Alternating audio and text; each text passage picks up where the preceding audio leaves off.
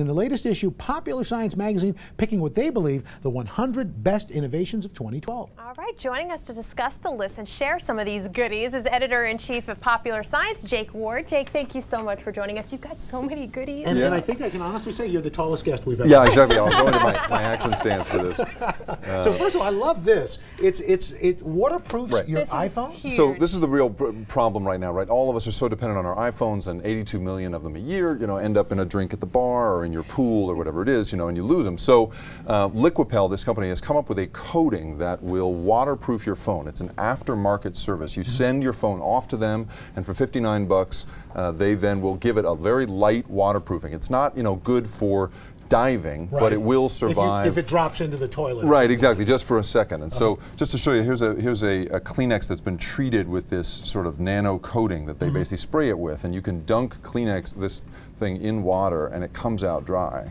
That's, That's amazing. Right, that's pretty good. Right, wow. it's pretty good. Now, you know, it's not perfect, but it really is a, you know, it a pretty it amazing. Buys, it yeah, buys, you a little time. Buys you a little time to yeah. grab it back. Exactly. Video chatting is huge, and this right. is really cool. Yeah. So this is called the Swivl. It's a $179 object that will basically allow you to pace back and forth. You wear this little receiver on your lapel, uh -huh. and as you're talking on your phone and you sort of walk back and forth, you, uh, you know, you can shout at somebody and pace the way you normally do. hey there, how are you doing? Yeah, you know exactly. who this would be great for? Dave Malkoff.